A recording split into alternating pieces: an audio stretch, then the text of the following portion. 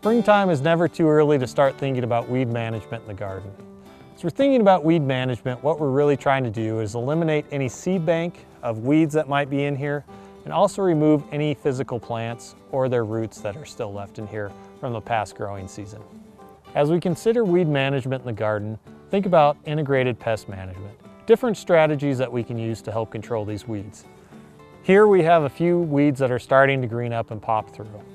We might think about some chemical options, but there are other options as well to help control these weeds.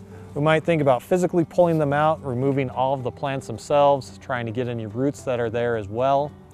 Chemical options might be something that we spray on these weeds to kill them. Be careful when using chemicals that have a residual because this might affect other plants in the garden later on in the summer.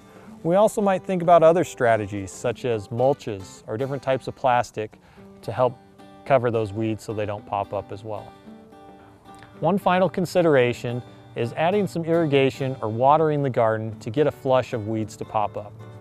Do this for about two to three weeks. That way we get a good stand. We can try and get the majority of the weeds pulled before we get a seed bed established of crops for the growing season.